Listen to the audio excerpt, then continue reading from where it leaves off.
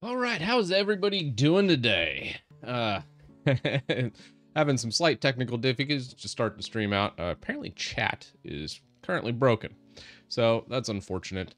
But um, yeah, it should be a fun stream today. Hyprland Revisited. We're gonna be going through.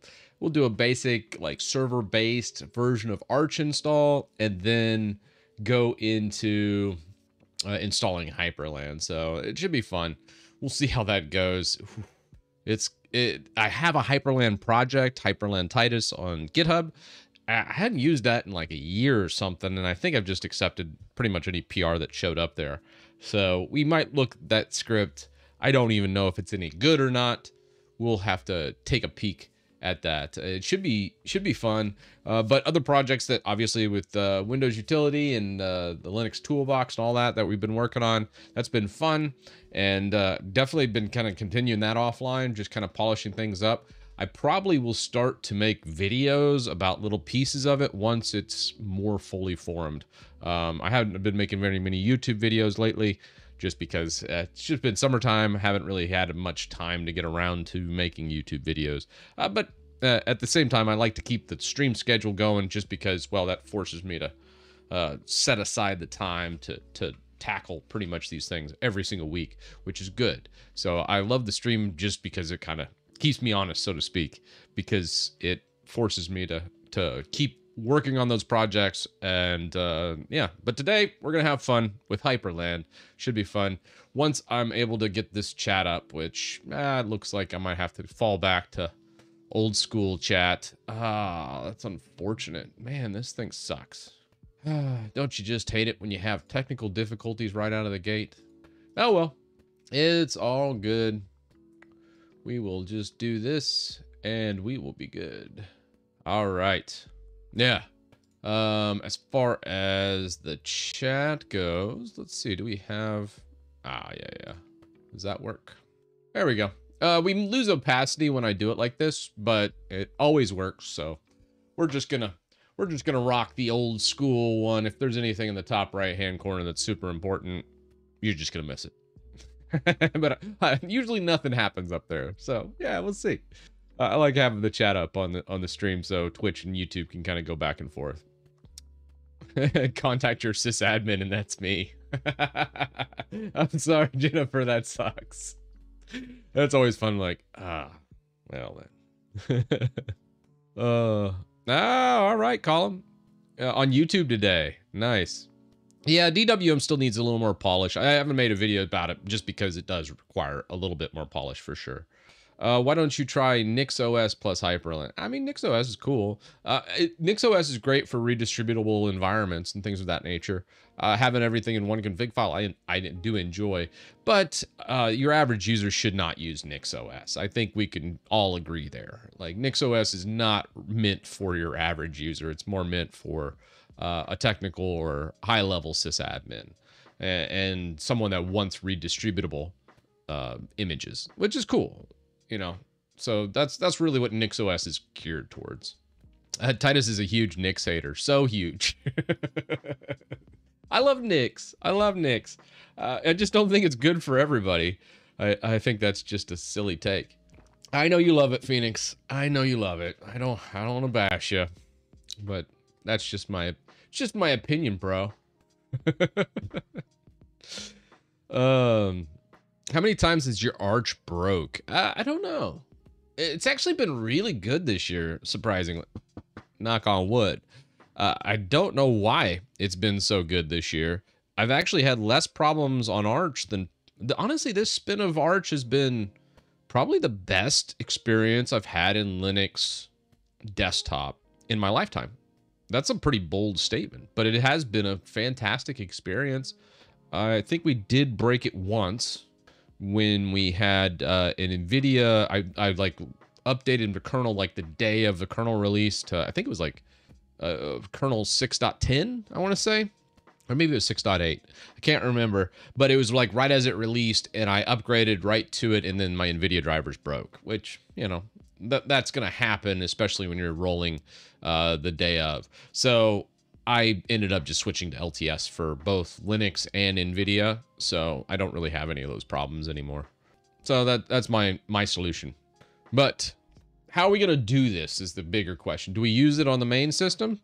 I don't think we're gonna start that way. We may end up doing something like that, but for the most part, I think what we'll probably end up doing is something like a virtual machine. Something something like Virt Manager and then kind of pulling this in into here because I think this would be a fun one to do. Uh, let's just shut this guy down. Um, shut that guy down. We have an Arch server here. What was running on this one? Yeah, VM safety. Uh, a necessary tool in the toolbox for sure. What are my NVIDIA drivers? I wonder, now that you say don't use them. I'm using 555 for the NVIDIA drivers. So that's uh it's and have been solid for me. It's been great. I've been able to do my video editing been able to do everything just perfect. Like i said i've already knocked on wood a bunch. I don't want to talk i don't want to praise this anymore because as soon as i do something's gonna break. All right what was in here? Let's uh we had an existing arch server some for some odd reason. What was in here? How long ago did we do this? Oh oh okay. Um all right well we'll just use this one then. That's Interesting. All right, cool. Well, we're, we're ready to roll. Uh, ooh, before we do this though, oh crap. That, oh, shouldn't have, shouldn't have done that. Ah, my bad. All right, can I find, oh well. Uh, we're trapped here. So I, I hit full screen and I can't remember. I think control alt, control alt F, control shift F. Uh, no, control, was control, hmm. I don't, I don't know what happened there. Strange. Um, Hmm. Control Alt Shift F. I can't remember what it was. Oh well. So so be it. We we are here. Uh, this is what we're gonna rock now. Let's make sure everyone can see everything. Let's go like 28B. Oh yeah, there we go. Yeah, big big font. You, so the the phone users out there can see what we're doing. Um, Control Alt R. Maybe lose focus. Control Alt R. Oh no, whatever. I mean, we can always shut this down and then it kick us out. So it's not that big a deal. Is this a clean install? I think so. We could always re do. Should we reinstall? I thought it was Control Alt F, and then you get get it back. Um, it could be like Control Alt. Um, ooh, I don't think I have a left Alt to unbind. Whatever, it's fine. We're we're stuck here. It'll be fine for a while. Um, what do we have on our partitions here? So this right now is a, we have two disks. One's 50 gigs, one's 20 gigs. The 20 gig one is not mounted. It's kind of odd arrangement. Uh, let's go disk free human, human readable. We currently are rocking a uh, little bit tight on the boot partition. I wouldn't have not have should not have done 300 megs on the boot partition. That seems a little silly. I like to go one gig these days. Uh, and then everything else is in root. We don't have like a separate home folder or anything, any crazy shenanigans. Ah, pretty simplistic setup. So let's, uh, probably the first thing I like to do with a brand new, was there console? I think it was V console. Yeah. I want to say you can do like font equals V or tur V28B. Uh, I think that will set the font automatically. Now, I could be wrong on that one, but uh, let's reboot just to see what happens. Yeah, no, that works. Look at me. Look at me. All right, cool. So now everybody, we're not going to do set font every single time. We just wanted to set our default ones to just be giant. Old man mode is what I uh, 300 in boot. That's a bold strategy. Let's see if it pays off. Yeah, hopefully. We probably should do a pacman update first. Um, oh, no. Oh, jeez. Wow. Dude, I... What in the world? All right. Fat fingered all that, didn't I? All right. Let's just do it SYU. Uh, because I have no idea when we installed this thing. So we'll just uh, go ahead and... Getting pretty decent transfer rates here. No complaints on my part.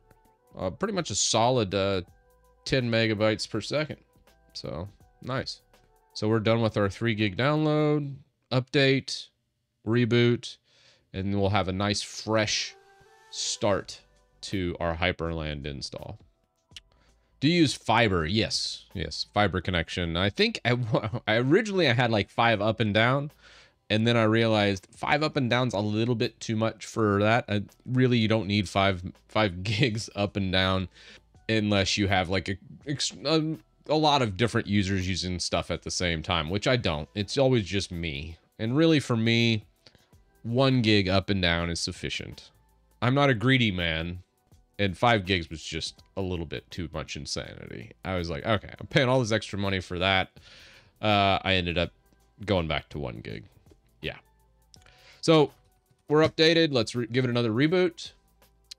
And I will say why I love Arch is it's just so minimal and you can reboot the system in like seconds. That's with systemd and everything. And it's just, it's just so darn good for like building stuff.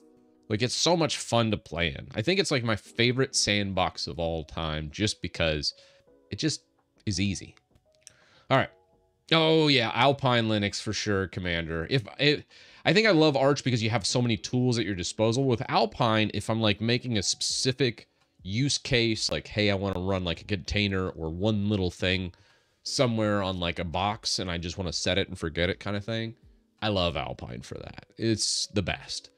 But if I want to just kind of play around and install a whole bunch of crap and I don't know what I'm to go, where I'm to go, I love Arch just because there's so many different paths you can take.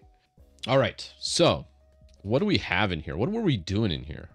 We were building DWM Titus on this one. Do we have StartX? We do have StartX. How about that? Okay. Oh, all right.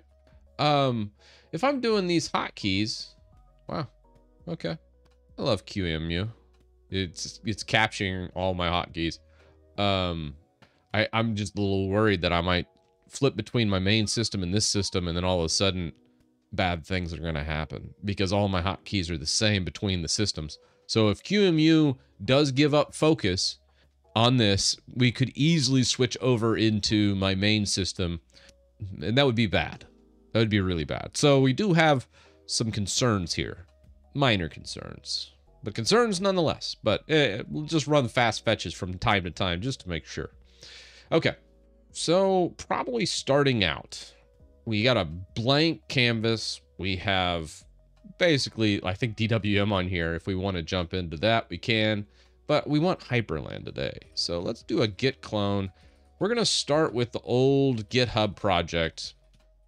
Chris Titus Tech, uh, Hyprland Titus. Now, Hyprland Titus hasn't been updated in more than a year. So what is Hyprland Titus? Um, oh, oh, ah, more? Ah, there we go. Okay. Less, more, I don't know. So we're adding SDDM. Okay. Oh, one second. I think I had had something pop up from old YouTube. All right, AM challenge for those of us with decade-old laptops incompatible with Wayland.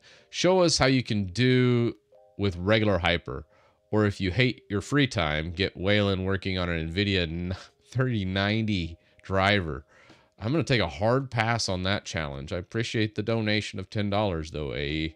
Uh, but no way am I ever going back to the 390s NVIDIA drivers. Uh, I think we had someone in chat, it might have been you, the other day that said they were on a 14-year-old NVIDIA card. That's insanity. Uh, Hyprland Titus is Arch only. I think. Back in the day, Hyprland used to be Arch only, but now it's in the Debian repo. So, yeah, uh, we can we can adapt it to Debian though. We got Hyprlock, Hyprcursor. There's a bunch of stuff. Vaxry's been busy. He's been a busy, busy man. All right. Uh, well, let's run the script. What happens? I give this about a 5% chance of working. Would you like to install packages? Yes. Man, that was kind of clean. Okay. Uh, Waybar and Swaylock, huh? Ugh. It's kind of gross. Um, fantastic script. Failed miserably. But to be expected. So let's go set hyper. What are we going to use? In? So you got Way, Swaylock, and Waybar for this.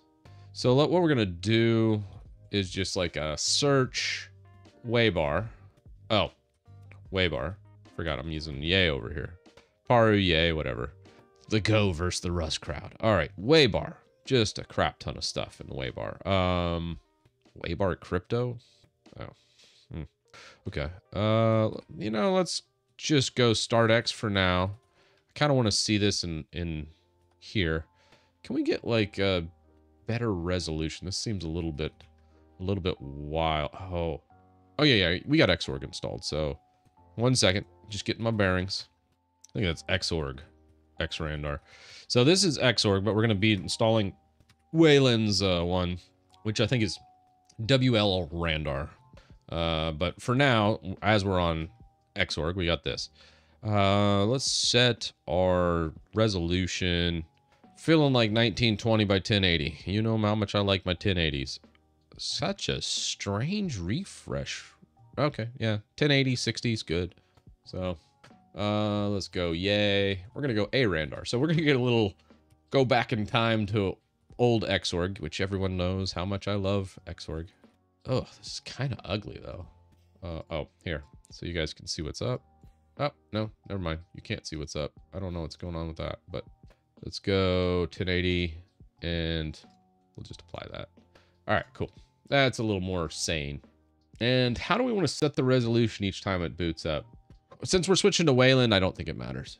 So now let's do a search of Waybar. So for Waybar, what happened with Waybar? G-bar is much better. I agree, Scott. I think we need to change this and go G-bar. I, I had a good experience with G-bar. If you're unfamiliar, G-bar is like a Rust-based bar. And I think it's a lot better than G-bar. Or better than Waybar. Um, I guess we're using Firefox on this system. Oh, blind. Ah. It's so bright. oh, lordy. What, what did I have on here? Let's restore session. Here's a risky click on a live stream. Oh, Lord, we were doing Linux from scratch on this system. That's what we were using it for. Oh, oh PTSD. Okay, uh, that's right. Uh, let's go. Tugs, thanks for the gifted sub. All right, we'll do Waybar. No, we're going to go G-bar. Is G-bar in any of the repos? Oh, well, G-bar Linux you know what? While we're here, let's test out Linutil. I think we, I want to kind of run a couple of my Linutil stuff. Oh my word. Dark mode, you're failing at your job. Do I not have Dark Reader? It's on, but it's off. Okay, well, all right. Oh, I never did update this. Darn it. Hmm. Did I get theme set up? Dang it. Hmm. One second. Minor detour. One second. I'm gonna just power that guy off for a second. Well, don't worry, we'll be back. I wanted to... Do we not have a release? Oh, we do have a release. Okay, cool. That's two weeks ago. No release notes. All right. One second. We're going to just do a quick release on Linutil because I want to use this on here. It's still... I still don't recommend anybody doing this, but we're going to use it today. Thanks for the $20 super chat. That was indeed me with the decade-old NVIDIA 560 soldered on. Oh, my word. I am currently trying to replace it with a 980M. How do you replace a mobile processor? That's going to be interesting. It's very fun searching board data from 3D. Oh my. Godspeed to you, sir. Trying to replace a 560 soldered GPU with a 980M. That sounds like that's a tall order. That is a tall order. Good luck to you. All right, uh, let's let's do a release real fast. Should I do a release live on stream? Probably not, but entertainment. Let's run this action, do a release, come back to our VM. And then I just want to set up some theming. So we have some like dark themes and then also just basic functionality. And then we do Hyprland. Yeah, we're not going to do any coding today. Today's not going to be a coding stream. We do have a whole bunch of stuff here, which is good. Bomb, thanks for the sub. For the prime. Three months now. All right. Uh, yeah, that should be good. All right, cool. Um, with that action going, we should have a new release in our releases. We've been busy over here. Dude, look at all these PRs I've done. that is a lot. All right, cool. Well, I wanted to test this on a dev branch, but we're just going to set that to the latest release because I want to just use it. I don't think anybody's really using Linutil right now, so we're gonna be the we're gonna be like the first ones to really use it in practical use case. It may completely fail, but it's gonna be fun. It's gonna be a fun fail. Look at that. Look at all those new contributors. Ah, all right, cool. All right, back to Arch we go. We've uh, went ahead and launched that. And I, you know what, let's just, no, let's go full screen. I want it to lock all my hotkeys. So once we come into here, there's no going back. Bam. Because that bar just disappears and there's no finding it again. All right. So we're back here. Now we can jump back into, shoot, really? Takes a little bit, huh? Eh, That's kind of a strange, slow startup on the IAP, but anywho. All right, one second. Did I change the shortcut? I think I did. One second. Slight problem with the uh, release there live. What what was this? Should be latest releases, download latest. All right, let's go. Chris Titus, Linux. Oh, somebody relabeled stuff, didn't they? Somebody changed the files. No, they did not. Ah, I got it. Uh, I'll I'll fix this later. you guys will remind me.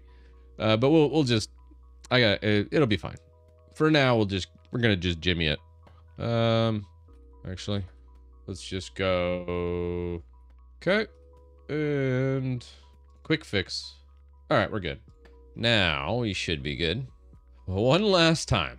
Here we go. Firing it back up. We're good this time. I did save that, right? I wonder what is going on with my network startup here. It is just taking a century. Come on. Uh, I think 3DXL is on Phoenix, so I think we should be fine there. Yeah, this should be for all distros. We're, I'm, I'm going agnostic, at least. So the big two things I want to cover here is with most of my projects is Arch and Debian. I really don't care about like Joe Blow's distro that he created that's a fork of one of the mainline distros.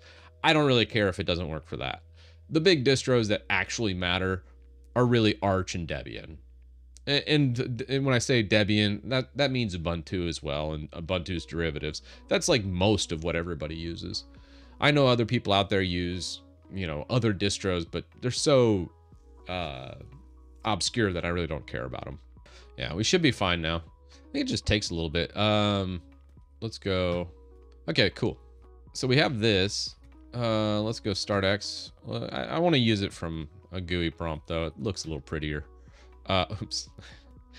ah, all right, there we go. Now we're cooking with gas. Global theme. That's what I wanted to do. Set up the global theme real fast. So we got some global dark mode.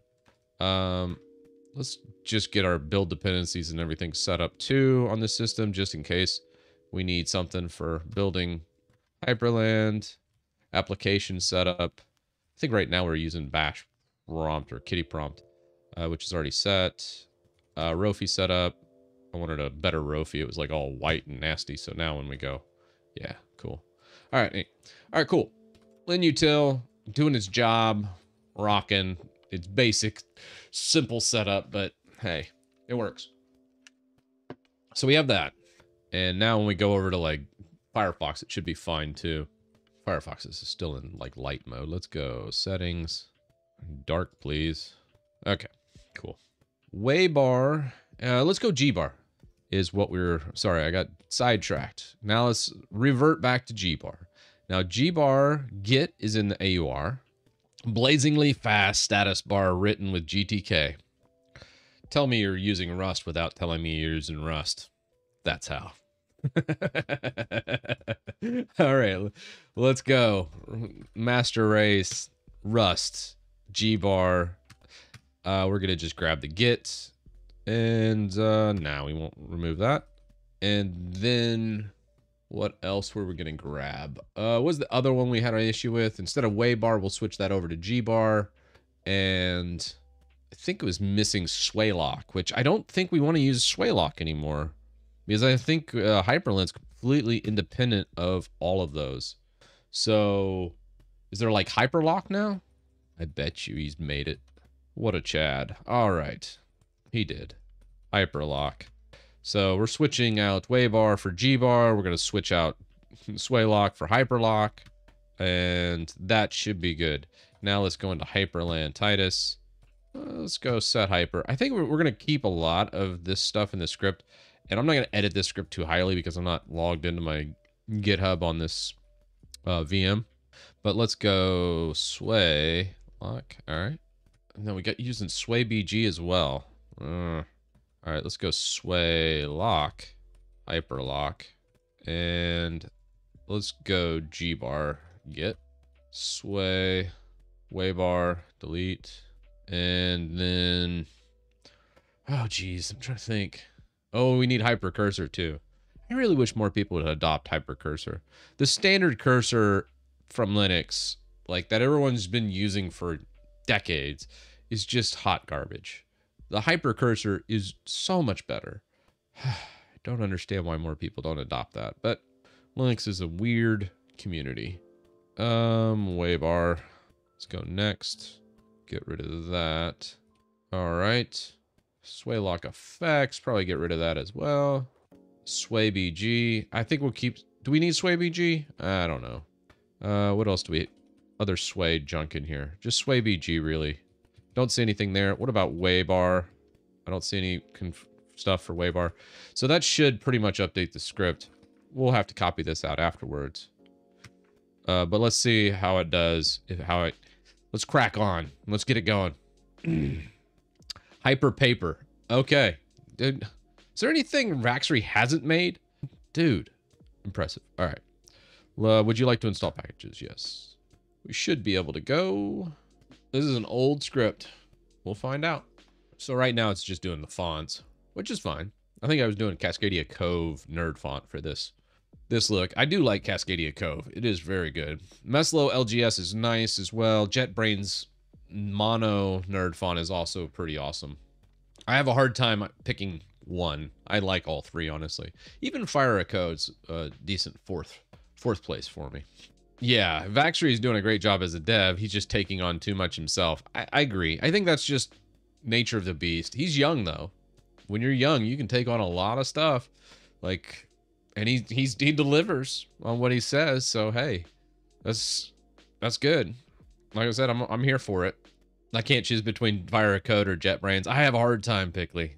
I love both. I really don't think there's a wrong answer to that one. Oh, good. Well, good to see that Brody's uh, helping Vaxry like promote his stuff. I'll do my part here. I'll do my part as well. I'm doing my part. Are you doing yours? Can you install Hyprland from scratch? I mean, this is basically from scratch. Uh, you can read the script to get all the different ones, but installing each individual package, no, because I don't even remember what packages to grab we're just going to modify the script. We'll go through each package to install with the script, but we'll fix the script as we're going. So you get to see everything that we're doing. So then you can modify it to your needs. Yeah, this is pretty much as scratch as it gets. I mean, it's a server environment. Um, and we could modify like Arch Titus as well. We got a lot of time. I jumped on early, so this is going to be a little bit of a longer stream. So have a little patience. We'll get there. And we're going to look at some of this stuff. Will it be functional by the end of the stream? Give it about about 2.3% chance of it actually working for you. But there is a chance. uh, please fix Arch Titus. I agree, Sal. We have to. We're going to talk about it. All right. Would you like to copy config files? Sure. Um, yeah, whatever. Let's do it. Looks like it's in the fonts section. uh, all right. Would you enable? Yeah, sure. SDDM, get it. Would you like to install Bluetooth packages? Hell no. Who uses Bluetooth on Linux? That sounds terrible. You can start Hyprland by typing Hyprland with a capital H. Would you like to start Hyprland now? Yes. Well, yeah, actually, that makes sense. We're in Xorg. You can't launch Hyprland from Xorg. That's just silly. All right. Hyprland. All right. Let's see. Configure. All right. Hyprland config file failed. Uh, line 51. Decoration multi-sample edges does not exist. Uh, we're getting a little flicker here. It's going to be a little dicey. Um, that's okay. Just going to have to play it by ear. Uh, right? I didn't catch that. Uh, hyper, hyprland.conf. All right, nice. And then let's go to line 51. Maybe, maybe, okay, that decoration, not good. Okay. It looks like a JSON statement. Hmm. Not coming back, huh? Rounding, edges, multi-sampling. Okay, well, that's not going to work for us. Uh, we, we need to actually see what the hell we're doing. uh, let's go hyper. Let's vim hyprland comp. Let's go line 51. Multi-sample edges true. Delete. Okay. So now let's come back to Hyprland. What's the next error? All right. A little bit of a flicker. Didn't we say a VMware issue? Uh, maybe we need the 3D acceleration like you were talking about. All right. So, uh, oh, actually, pkill Hyprland.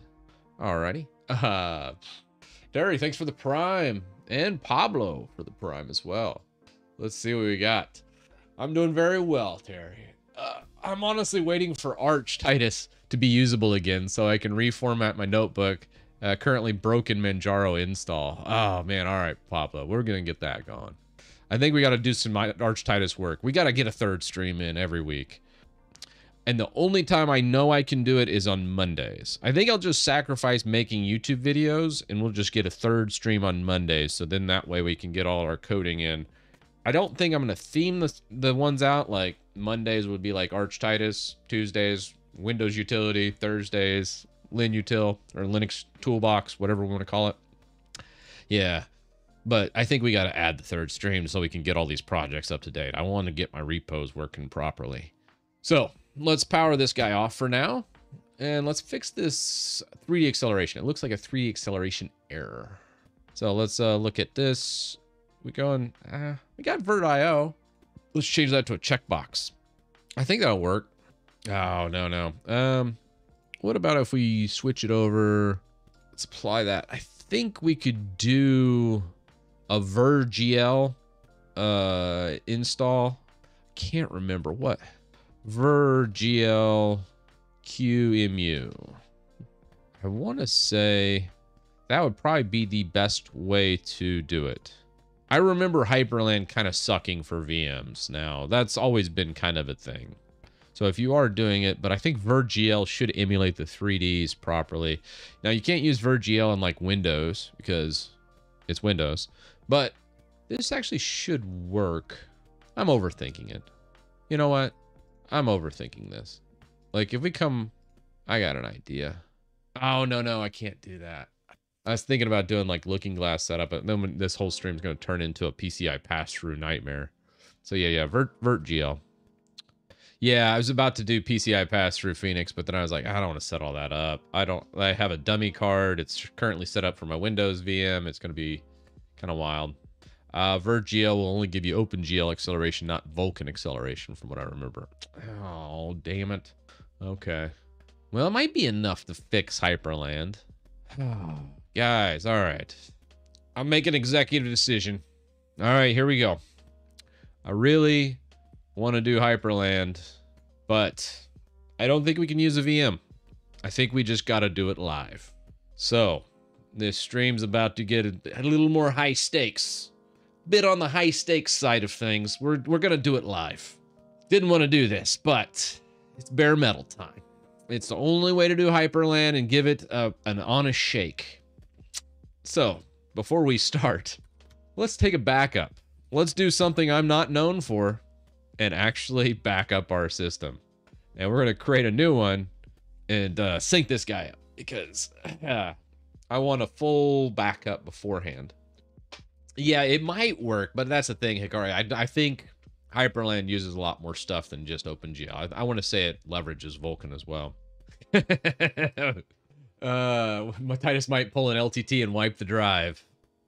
Strong possibility. 67% probable. uh, all right. Oh, we'll let this go and then let's pull over Hyprland. Let's first, you know, I kind of like it going on bare metal anyways. What is this? Modified. Why? Hmm. What's yay? Gross. Okay. Remove yay. Um, bim, git ignore. We're gonna we're gonna fix this project up. Somebody was like, "Hey, I want to do it from scratch." Well, you can use your existing install. Uh, oh, we don't have any git ignore. All right. Well, we'll just set yay in there. What else do we have? Install log. We're, oh, the noob did this one. This is before I knew how GitHub worked. Uh, let's be honest. I still don't know how GitHub works, but I'm I'm getting better. this is back when I had uh, just a fraction of my current knowledge of GitHub. Uh, so we're going to actually make this project better and not suck so bad. All right. Here we go. We are off to the races. Sway lock effects. Let's get rid of it. Sway BG. Uh, what, do we say? hyprpaper was the next one. hyprpaper. Okay. And then instead of way bar, we're going to go G bar because G bar get is just better. hyprpicker, Grim Blast, WL clipboard. Did uh has has Vaxry decided to redo the clipboard as well and have like hyper clipboard? I would not be surprised. Man is crazy in a good way. Hyprlock and oh, this is a removal. We don't need that. Uh, why was there a removal? That's strange. Anywho, uh, we got hyprpaper, nerd fonts, blah, blah, blah. What else do we have? Install packages, sway lock, waybar. That's all good. Waybar WTR. That's a weather script. Eh, I don't think we're going to use that. Why do I have a weather script in here? Gross. Uh, XDG Portal Hyprland. That's good. Nerd fonts. We're just going to clean up the script a little bit. And you might be thinking, well, Titus, I, I want to see it done just one by one. Well, here's how most Linux users do it. They sit there on Google searching, oh, what projects do I need? What things do I need? Honestly, I think it's easier just to do a script. And that way you can kind of see exactly where all your packages are, what you're installing, and go, oh, that's changed. And then you update the script, and then you know exactly what you're doing. And then you just run it, and then it just, in a perfect world, it'll just work. But if it does fail, then you can see exactly where it fails. So I think it's good. Hyper cursors, hyprlang. Okay, got that. So hyprcursors, hyper cursor. Is it cursors or cursor? Just hyprcursor. Okay. And what was the other one? hyprlang, huh? What the hell's hyprlang? It's already installed, but let's go ahead and add that. hyprlang. Okay. Oh, it's the config language. Okay. Okay, so we have hyprcursor, hyprlang, hyprpaper. Dude, he's really expanding this just in the past year. Yeah, moving fast. I like it. All right, we got ND, nwg-look, so we can set everything. That's looking good. Now, let's go through the config file before we launch into this and start installing. Let's go into the dot .configs. We're going to remove waybar. We'll remove swaylock. And then let's go into hyper. Let's vim hyprland. First thing on the agenda, killing line 51 multi-samples. We were running into a problem with that. That's apparently changed. Let's look at our auto launches as well. We've got DW, uh, update dbus, portal. That's fine. That's fine. GNOME authentication agent. Really? What the hell am I using on this one? What am I using for my Polkit? Okay. Close this out. Let's go Paru, Q, QS Polkit. So I'm using, I think I'm using Mate Polkit. Pretty sure.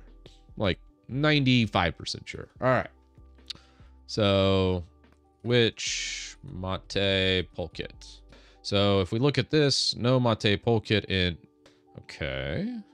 What am I doing?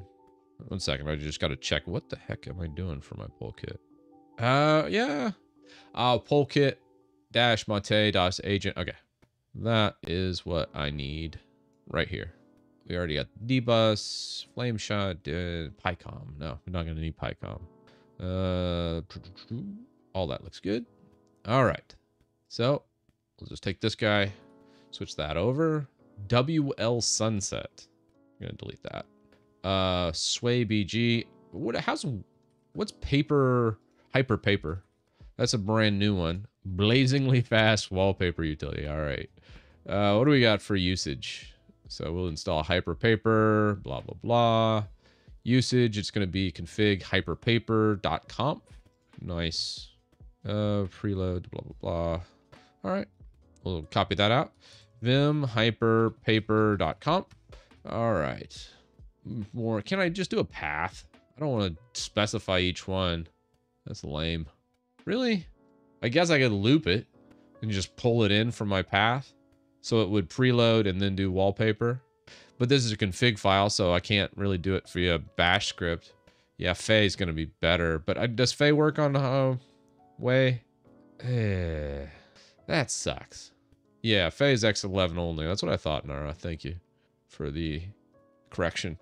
Um, surely he had an ability to do a folder. It was just doing specific ones. Meh. Ain't nobody's got time for that. Hyper. Come on. Come on, Vaxry. All right. I guess we'll do it old school. That's fine. That's fine. I needed to cull my pictures and backgrounds anyways. There's a couple in here I got tired of. All right, let's see. What do we got? Uh, uh, uh, uh, uh, there's a couple in here I don't like particularly. Like this one, I'm going to trash. I'm tired of the outer space one. The rest of these I can go with. Oh, I hate this one too. Snorlax. Sorry, I'm not a Pokemon fan. It, it goes to the curb.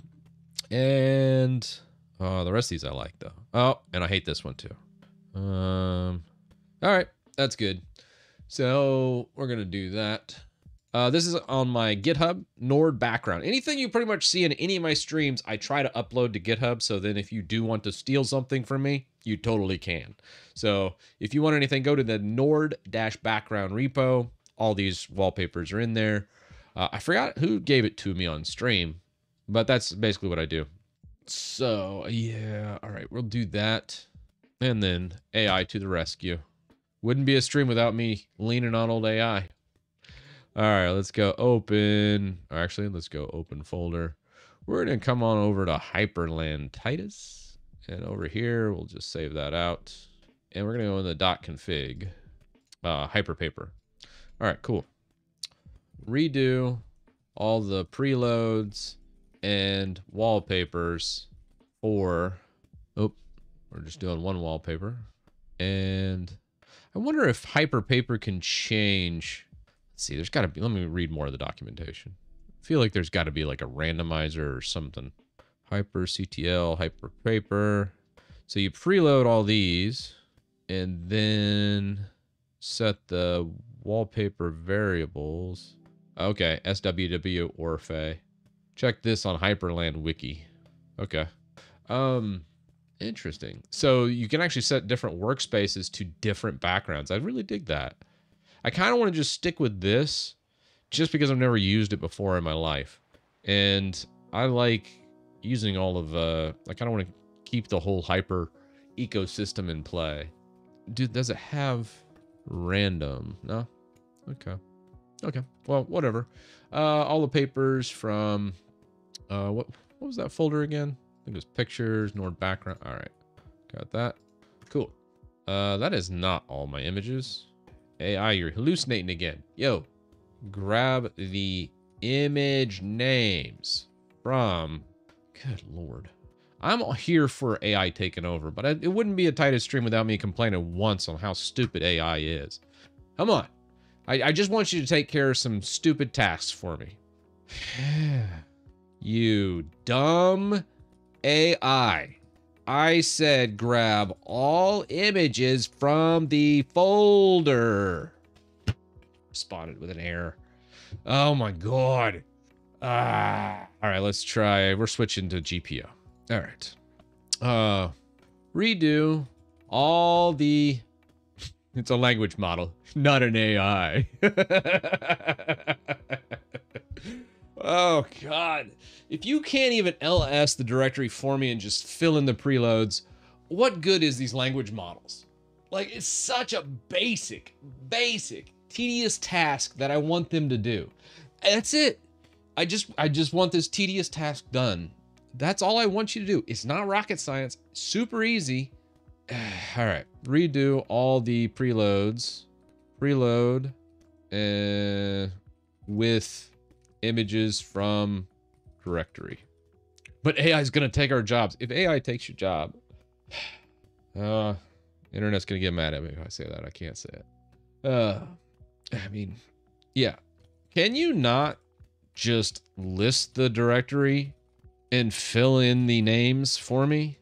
You really are stupid, aren't you? okay. Thanks for nothing. All right. Um All right. Uh perfect. Let's go. Uh yeah. Uh let's go ls. Oops. Was it Nord background? Yeah, that was it. All right. Um preload equals path name png. Okay. Cool. Yank. And oops. Let's go V. And we're just going to do a substitute because stuff. All right. Cool. Substitute. And we're just going to go beginning of line with um, reload equals or backgrounds. Oops. My hat. My bad. Uh, well, let's escape these characters. Oops. No. Oh, man. Did I mess that up? I did. Forward slash. Uh, I, I think I did like an insert. I don't know what my insert hotkey is, so we're just to have to retype it all. Nord backgrounds. Okay. Does that look good? Yeah, the insert key strikes again. I'm like, I have no idea where my damn insert key is, but I apparently pressed it. Uh, curses of some of these keyboards. All right. Um, cool. So now we preload all that. We're good to go. Uh, oh, no. I messed up. All right, well. To Titus picture um, pictures with Titus backslash pictures. Cool. Now that looks better. What do we what do we like? Does that look good to you guys? So we'll preload those in, and then I, I wonder how you can do like a random wallpaper with hyprpaper. Can you do a random? Random? Huh. Let's go hyprpaper wiki. Okay, preload wallpaper, and then just set it. What about uh, randomization? Do people just watch the same wallpaper day in and day out? Lame. I'm just going to say it out loud. That's just lame. Okay. Hmm. Control F random. Random is not found. All right, par. Par says check out ML4W's Hyprland alt files. Yeah, most use a script to grab a random wallpaper and feed it to hyprpaper. Oh, okay. Interesting.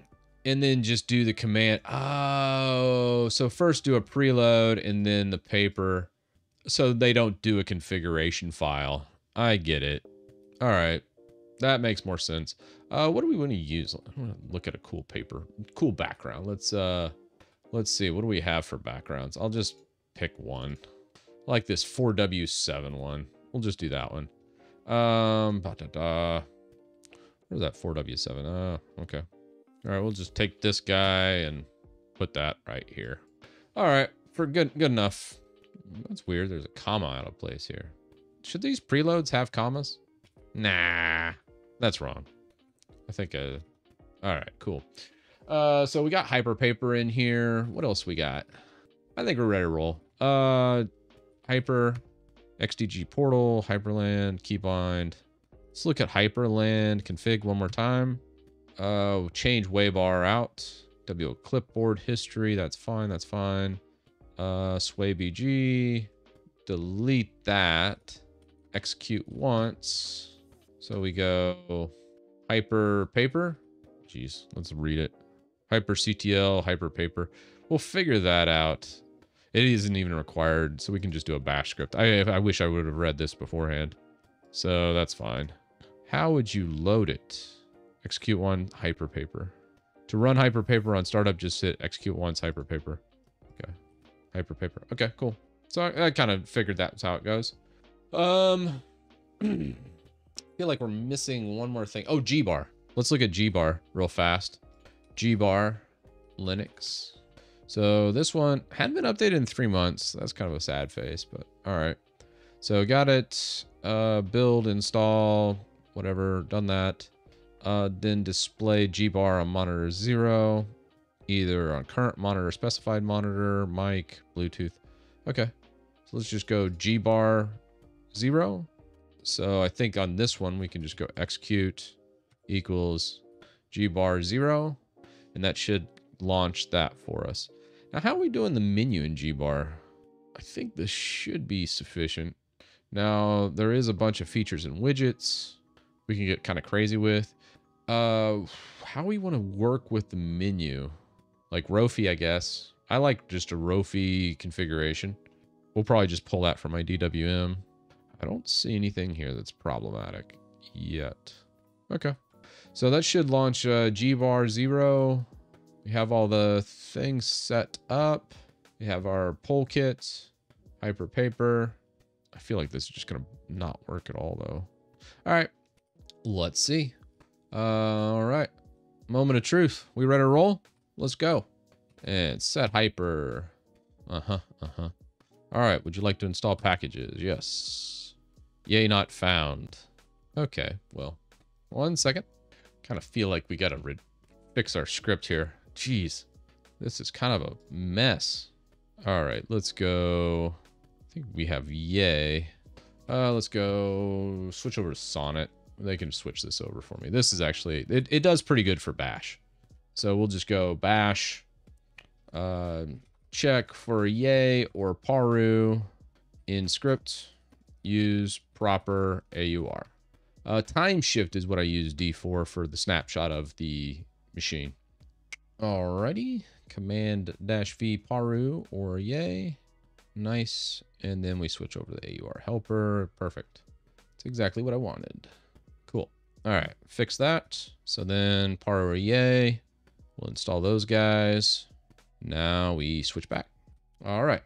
Yeah, so afterwards on this stream, uh, you can always check out the streams by, uh, I'll, upload and edit these. And then usually about a week after, you see the edited versions down on YouTube. Uh, the YouTube streams itself, I honestly thought about killing all the YouTube streams because I kept getting copyright striked uh, from the music that plays, the little background music you hear. So what I have to do is in post, I have to strip out and then modify it with high compression to kind of distort any background and then re-upload all my YouTube stuff. It's kind of a pain in the butt to do YouTube streams. That's why most people don't do dual streams between Twitch and YouTube. It's just not worth it in a lot of ways. But I like you guys being able to see both streams. But yeah, I disable everything. And then from the DVR, that means somebody can't call my screen and then copyright strike me while I'm live. And then afterwards, it's just a huge mess, man. Uh, YouTube streaming sucks so bad. Like I am so mad at Google. It it's such a just a complete shit show. I don't understand why it's so bad. Um, but here we are. Um, anywho, oops. I guess we didn't get didn't get one thing going with SDDM. What was I using? I don't. I don't even use an SDDM. Oh, this is just one I made, Jim. So uh, Hyprland Titus, but it's super out of date. So we're we've got to fix a few things in the stream. Uh, the the actual script itself.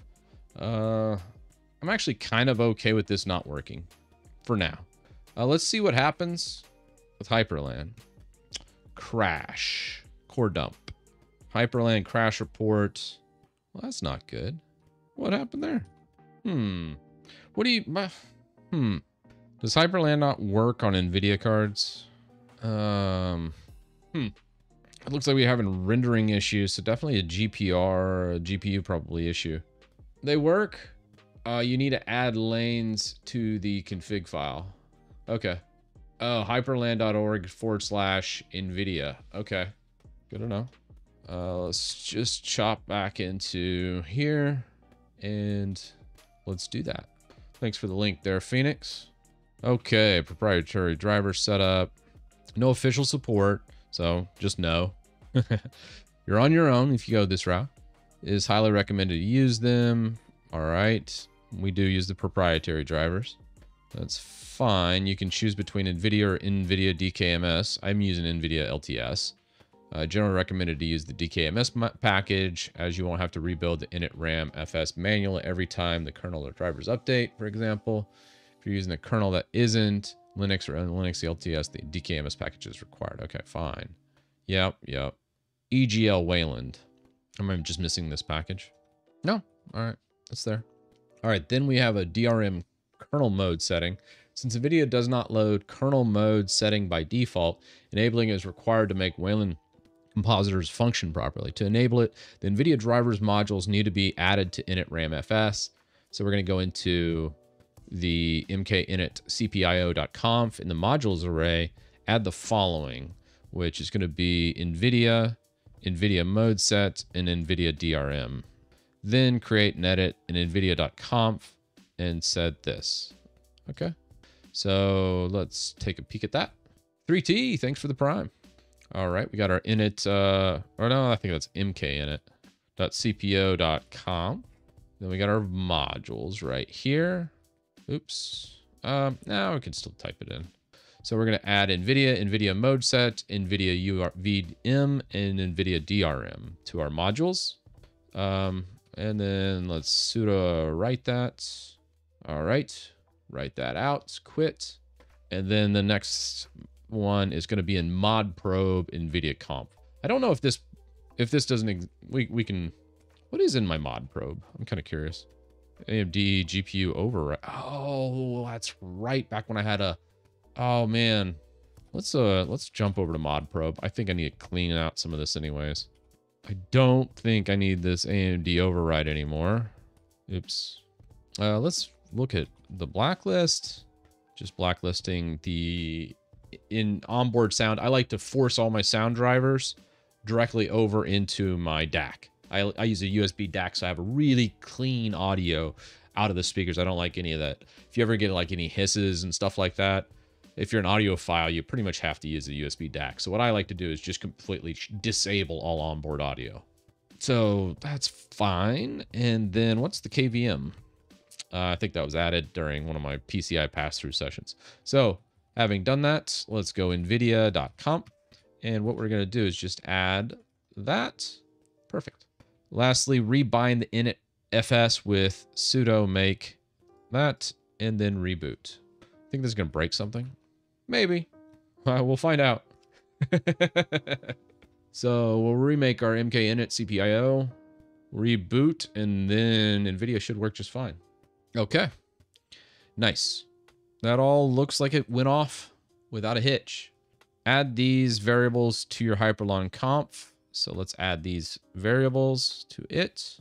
And all right, Hyprland Titus and cd.conf. Ooh, actually, I'm not going to add it here. Let's just go into my config folder. We're going to add it directly to here because most people aren't going to need this configuration. So it won't be part of the actual script. So we'll add this NVIDIA um, enable. All right. Easy peasy. Good documentation, I got to say. Very good documentation here. As far as VPAIO, oh, let's see. What else do we have? VA API hardware video acceleration. Hardware acceleration on NVIDIA and Wayland is possible to NVIDIA VAPI driver that may solve issues in Electron apps. Okay. Well, hell, let's let's just keep going. Might as well. Let's let's have as little problems as possible if we can. Kind of a pain, but hey. And then let's grab this driver configuration. Uh, what do we got? Environment, NVIDIA backend directs. Okay, cool. Rendering environment variables. If you encounter crashes, change that. If you face problems with Discord displaying, GLX vendor library name NVIDIA. Oh, the comment out that line for that. I don't really care. I don't really use Discord except for like a tab and browser. I never get notified for anything on Discord. So if anybody ever tries to contact me in Discord, I'm not ignoring you. It's just I'm a weird person and I like to use it in a web page, kind of like sandboxed out. Flickering and Electron apps. I think we just talked about that. Flickering in X Wayland. Fixing other random flickering. Lots of flickering, huh? All right, I guess we'll see if we see any flickering. Um, I do not have like a 3070 or anything. We are using a 4080. I want to say no 4070, 4070. Super. And then suspend wake up issues. Okay. Man, what a pain. All right, let's go. Discord is my favorite spyware. I think a lot of people would agree with you. Does X Wayland run X server in the background? Not really, Razzo. X Wayland's kind of like a. It works, but it's kind of. It's just a little jank. It's just a band aid for applications that don't have Wayland compatibility.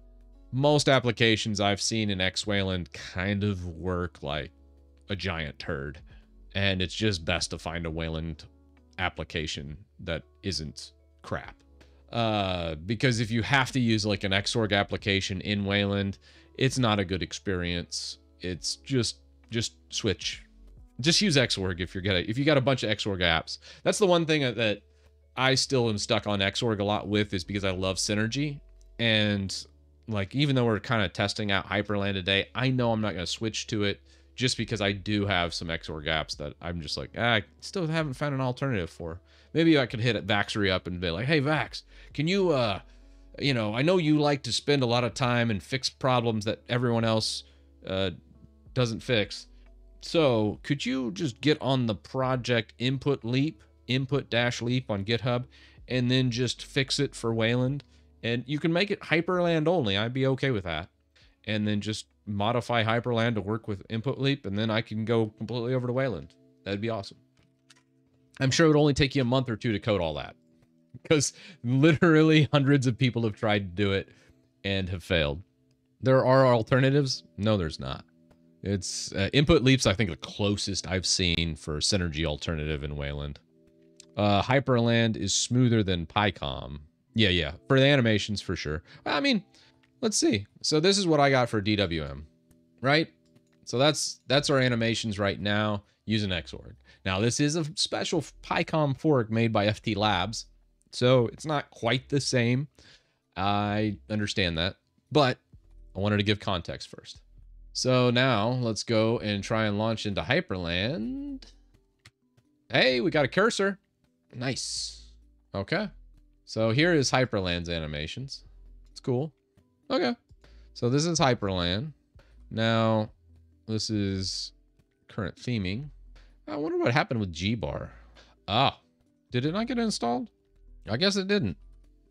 Did uh did it bomb out on us? I can't remember. Oh, we installed it in the VM. Oops. That's right. We didn't install it over here. Yeah, no background yet. That's okay. We'll get it. Yeah, we can also edit the animations and everything. Oh. Okay. So bar, zero. And then we got it up there. Eh. Okay. That's cool. Um. All right, let's go into our hyperconfig. What are we doing? Gbar. Hmm. Maybe this should be like execute once, maybe? Oh, no, no. So where do we quit? Where do we quit and relaunch? I was using Brave back when I was doing this. Okay. Thorium. Oh. Maybe that should be execute once. Hindsight's 2020 on that. Okay. Uh animations. Shadows. Yeah, we got two bars now. Uh oh yeah, keybind is what we're looking at. Like I was getting sidetracked. I was like, ah, pretty colors. Okay. Then Super L, Titus W11. Oh, I had a script to launch uh, Windows 11. That's funny. Um, that actually should be looking glass client dash full screen. And I'm going to put that as, do I want to go Windows? Nah, probably like W. I feel like I'm going to regret that bind. W logout, probably Super F1. What does that do? Ah, okay. Man, I like that. That's cool. Gives you a little cheat sheet on uh, your hotkeys. Okay. Uh, WCTL for that. Player control, screenshot. It's not, Thor oh, it's Thorium browser. Thank you for that. Uh, yeah. Okay. Uh, it does work. Let's, uh, I thought there was like a kill command. Kill and relaunch via key binding should be in here, right? I'm missing it, aren't I? hyprpicker, control shift X. Uh, extra circle. Uh, I don't know. Oh, so these kind of give you GPU usage. This one gives you. Oh wait, you guys can't see that. Oh, one second. I, I can't get back to my screen. Damn it. That's right. Because my way my synergy is not working. Uh, but basically, yeah, those little circles in the top part give you readouts of like CPU. Uh, we got CPU, GPU, disk usage, um, all of that. All right. It's super shift Q to kill Hyprland. Thank you. Okay. Hyprland it up. All right. Now we're, we're down to a single bar. I like it. B4, thanks for the follow. Yeah. So this is pretty cool. What else do we want to do with Hyprland? I kind of like this setup. You got a very minimal, like, uh, G CPU usage. Let's go btop. And, I mean, honestly, everything that's being used is really QEMU. Hyprland itself, almost taking no processing power. G-bar is super minimal. Um, probably because it's written in Rust. uh, I'm sure other other programs write it properly. I, I just I, I don't know what it is about Waybar. I just don't like it. And G-bar is just so simple. I kind of just dig it. Uh, set background with hyprpaper. Okay, we'll do that Raz. Let's see what we got going on here. So with hyprpaper, hyper paper cannot launch multiple instances of hyprpaper at once. So I think you can do like hyprctl and then you can do hyprpaper and then let's see what we got. So hyprpaper wiki. So the config doesn't really matter. So we'll do a preload and then wallpaper. So we'll do like hyprpaper like that, but let's go into pictures, Nord, and then think we wanted like the 4W7E9 JPEG. So something like that. So let's come up, preload, and then just put that in. Hmm. What about that? No such file. Do we got to do a full PWD? Well, okay, that works. And then set the wallpaper, right? Oh, do you have to specify the monitor? What are we, what are we rocking? So we're using HDMI A1 Okay. And if we look over here, it's just wallpaper. But you also need to put quotes. Okay. So quotes, HDMI dash A dash one, comma, that, and then uh, hypersock error. Does it need the absolute path? I guess we could do absolute path there. Oops. Um, we'll just do an absolute path just to rule it out. Cannot connect hyprpaper sock error. That's interesting. So I, I, I don't think that's working. Let's try a different one. I think Hyprpaper is a bit of a bust. Let's try SWWW. Solution to your Wayland wallpaper woes. Oh, elegant. All right, cool. Let's see what we got. It's written in Rust. Already, already a bonus point there. Uh, we do have a daemon that we will run. Then different terminal, pass this through, specify outputs. Oh, look at this wipe transition. Holy crap, that's slick. You can do an outer transition. Oh my gosh. All right. Look at that. Yeah. Yeah. Wouldn't call me a master themer by any means. Uh, I think it just, you just specify the image path and it just goes. Uh, you just got to start the daemon and that's it, it looks like. Well, let's try it out. So let's go Paru S, SWWW. It's in the basic one. I've actually already installed it. Apparently I was messing around with this at one once upon a time. So SWW daemon. All right. And then in another, oh, what's going on here? Where's my tiling? Okie dokie. What happened there? All right, fine. We'll just push you to three. I wonder why my is not working there. Works over here. Maybe because the program's running? So strange. Okay. Awkward. Okay. SWW daemon. Start that loop over there. And then we can set it over here. So we have SWW. And then I think we just point to the path and it should work. In theory. Now we could also set this up in the background to execute once on startup. So if we just go image and then Let's try and... This is an absolute path, but technically it should work. It is a directory, so we can't feed it a directory.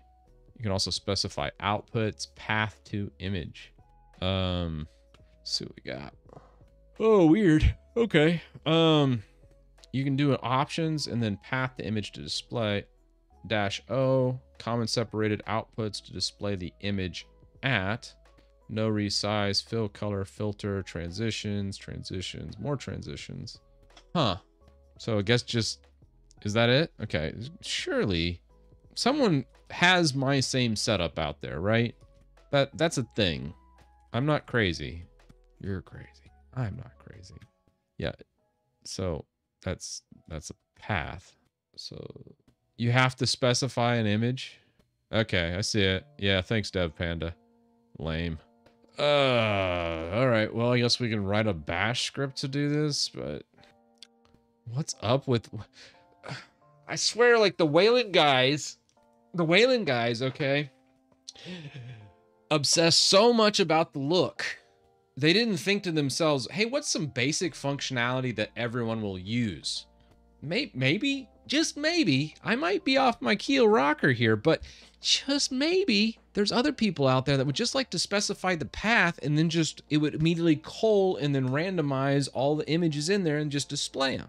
So the user wouldn't have to be running a bash script in the background to do such a basic task. It, it should just be built in. It should be feature number one. Instead, they spent hours of their time with these cool transitions. I can't take these people seriously. What the hell? And I know I feel like an old man when I'm like, hey, DWM just works, but there's like many things about just these really legacy things that just basic features that sometimes are just missing. And there's all this cool flash and, and flair to all of these new projects, which are great but they're just not polished enough to have like just the really core functionality that are super important to me. Running a bash script in the background is not a good solution in any scenario. Full stop. Uh, DWM works adds 55 package. It's true. It's true. You're, you're not wrong. All right. Sorry, I had to get that off my face. I still love these projects. I still love these projects. I'm not. It's not. A, it's not saying anything bad about. Just like, let's let's see if it can display the wallpaper. Right. That's that's really the that's the thing that matters. Okay, we have a wallpaper. Yes. Um. Okay. All right. Cool. Well, that's that's neat. That that is really neat. Uh, I don't I don't even remember what I was doing. All right. Let's go. All right. So what we're to do here, just add that in. Then we got our G-bar. We got our polkit. I guess we should try the polkit. Let's see if that's working. Oh, and we also, before running the SW, there's probably a more elegant solution than this. Daemon. So that, and then set that. Okay. Transitions. Okay. Nah, Hyprland's its own thing. I'm not a big fan of Sway either. Yeah, I tried the uh, SWW image in the path, and that wasn't working for me. So, I don't know. Waynergy is a client only. You can't do Waynergy servers last time I looked at it. We can take a peek. Waynergy server. Yeah, so this is just a client for Wayland compositors. So the main issue that Wayland has is it just cannot host things very well when it comes to like multi PCs uh, for Synergy. But yeah, I saw this one. The closest thing I found that has a shot to where I can actually take Wayland a little bit seriously is Input Leap. Input Leap's close. Open source KVM software. These guys forked Barrier many years ago, and it's actually really cool. Written in C++, very solid goal. And if like, eh, let's say I was in just Xorg, I would just use Input Leap. Input Leap has like all the bells and whistles that Synergy or Barrier or any of those.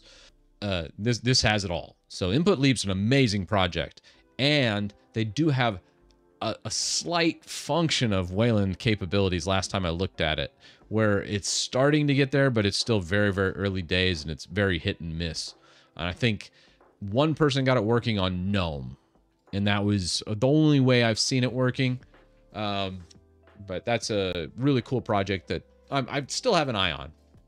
What does search look like in Hyprland? Uh, I'm using Rofi, so it's the same as what it would look like in any other one. Rofi's agnostic, so it doesn't matter Wayland or um, Wayland or that other. Hyprland or DWL. Uh, again, I'm not a Wayland guy. I'm just not. I'm not sold that Wayland's there. I, I don't think Wayland's baked all the way. Uh, I know a lot of YouTubers would disagree with me this, and a lot, honestly, a lot of developers probably would disagree with me on this. But every time I use Wayland, I encounter bugs, and it is not a great experience. And I just always end up going back to Xorg. And I know one day it will be good, but after doing this for five years, back and forth, back and forth, trying out everything, I've distro hyped to just about every single distribution. I've tried every single desktop environment. I have done literally everything you can do on Linux desktop, damn near. I can safely say I really do not like Wayland. Every single time I'm sitting here going, really? It's way overhyped right now. And I just am not a huge fan of it. Now, it I think it might end up getting there, but I don't know. I mean, they've literally been saying Wayland's there for five years, and more people are forcing the shift to it. I know Fedora is going to stop including Xorg in the repos, and it's there. I, and for me personally, if you're doing a tiling window manager in Wayland, I think Hyprland's the number one choice. Far and away, I like Hyprland better than any other tiling window manager in Wayland. Um, the bars at the top, like Waybar, anytime I try Waybar, we, we didn't really try it on this stream, but it's it's okay. But it it it feels a little bloated and it doesn't it doesn't feel good to me. G-bar does feel good. It's very minimal, gets out of my way, it just kind of works. Um, and that's why I choose G-bar over or Waybar. But that's that's where I'm going. That's where I'm going with it. Um, I and a lot of people criticize me because I, will and this is a I, I take this on my chin and I totally agree with them. Um, here let's let's just quit out these real fast. Um, exit. Ah, let's quill. Um, I understand. One second. Let me move chat a little bit too. Oh, I was gonna move chat. Oh, there we go. Oh wow, chat's big. All right. Well, I'm not gonna take up that much room. Sorry, you're gonna chat chat cut off a little bit. Um, but yeah, this I know understands not the prettiest thing in the world, and it's nothing to write home about. But the, at the end of the day, it just kind of does everything I want it to do, and that's where I'm like, eh. I understand DWMX11's been around for decades now, but it works. And it could be a skill issue. Yeah, could be. But I mean, the workarounds for like NVIDIA and that type of thing to get it going, I, I kind of feel like, oof, that's a little rough. I mean, it did, it did work though. But yeah, at the end of the day, I, I just like to find something that I can do my work on and then just jam it out. And that's why I choose this over some of the more fancy stuff today and the more flashy projects. I, I, I feel like that, uh, I, I totally get why people use those. Yeah, if your desktop works, why fix it if it isn't broken? I think that's a good point. And that's where I'm at. You know, it, if you can be really efficient in doing what you do, why would you change? And that's that's where I'm at on this. I understand this is not the prettiest thing in the world. It's a bit of an ugly duckling that I've created, but it's my ugly duckling and it works. It does everything I want it to do in seconds and it's great.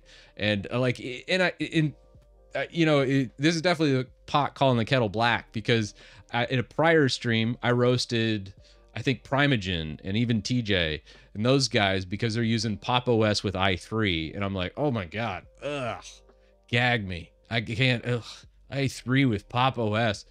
But here's the thing it works really, really well for them and they get all their work done way faster than I could ever do anything that they're doing. I just don't like it. And that's fine. So that's like uh, uh, just a different. It's like your opinion, man. Everybody has one, and that's why I'm like, it's not like I'm not saying people that use Hyprland are wrong, or people that use Pop OS with i3 are wrong, even though they are. You really shouldn't use those. There's way better options. Uh, use Hyprland with Wayland, honestly. But uh, I digress. Uh, I'm just saying, if you can get all your work done and you're super fast at it, I you can't really say it's it's bad because at the end of the day, if it's great for you and you can do everything perfectly, that's really where you should be.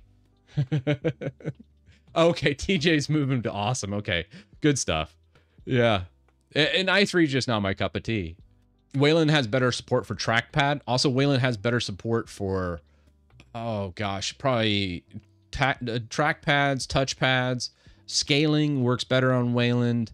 You have uh, some people have issues with screen tearing on their systems. If you have like real excessive screen tearing, you really don't run into screen tearing on in Wayland. Wayland has some big positives. I've only kind of looked at the negatives here where I'm like, ah. The problem is I've already fixed all these issues in Xorg to where I don't have screen tearing. I don't have those things with this Xorg setup. So I don't really care. Uh, now, having said that, where I probably would use like a Hyprland setup would be like my laptop. I honestly could see myself moving to it there because I am having bad screen tearing with my Intel based laptop where I don't have that issue when I'm running Wayland based stuff. So using Wayland with Hyprland over there would make a lot of sense because one, I don't need Synergy. Two, I don't really have another graphics card, and the graphics card that's baked into it does give me screen tearing when I'm watching videos or playing games. So that's annoying where the Wayland counterpart with like Hyprland would wouldn't have that. So I would probably use like DWM out here, and then for the laptop, I probably would switch over to like a Hyprland type situation. So it really depends on your setup too. So it's not just hey, I'm familiar with this, I'm gonna just use this because I get my work done.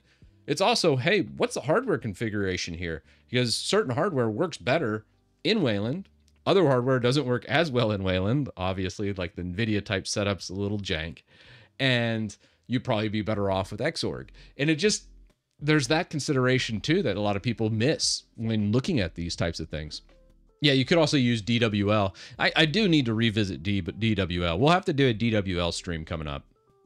I always use a secondary streaming PC for everything. That way, when I reboot the system or go into BIOS or anything like that, uh, or whenever inevitably I nuke my system, you guys get to see all the shenanigans the, that come from that. So the secondary system is set up more like you would see in like a radio station or a, a traditional studio. You think picom has noticeable screen tearing? Uh, I don't know. Uh, how do I test that? So here is this. Here, let's just take these two windows. Let's go like mid screen with it. And let's see if we can like we can get some animations going. I don't know. I don't see really any tearing in my my old man eyes. I mean, what do you guys think? Making y'all dizzy? What OS is the stu studio PC running? Uh, Windows. Windows. yeah, tearing wouldn't show up on stream really. I think when you play like a video, like a really fast-paced video or game, you can really notice it. Is probably the biggest thing. My new job's giving me a Chromebook. Whoa, that's a bold choice. I saw your videos about them. They're almost two years old. Have you have opinions changed? Are they still an underappreciated masterpiece? Ah, man, you're gonna get me in trouble, Lusano. I, I did call Chrome OS and Chromebooks, uh, specifically the one I had was an IBM ThinkPad, still have it, for Chrome OS. I think it is an underappreciated masterpiece still today. Anytime I'm on Chrome OS, I'm like, it does work. It does its job pretty well. There's not any viruses or shenanigans really going on with them. You can lock it down and really control a large environment really easy with them. And they really just don't break.